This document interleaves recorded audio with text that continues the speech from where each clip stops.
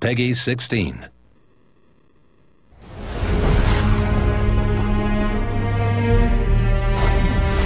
EA Sports. It's in the game.